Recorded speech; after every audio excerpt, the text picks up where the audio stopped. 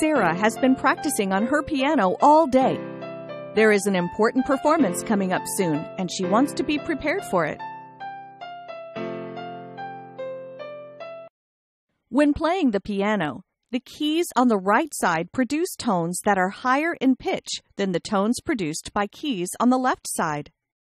The pitch of a sound or a tone depends on the frequency of the sound wave that is produced by the source. When the frequency of the sound wave increases, the pitch of the sound becomes higher.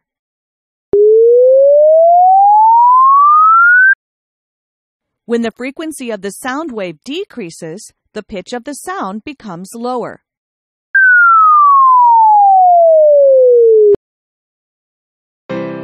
While Sarah is practicing, her mother comes to tell her not to play so loud because her baby sister is sleeping so she starts playing more softly by striking the piano keys with less force.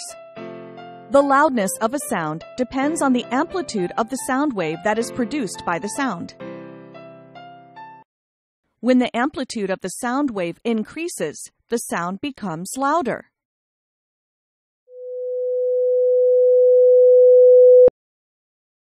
When the amplitude of the sound wave decreases, the sound becomes softer.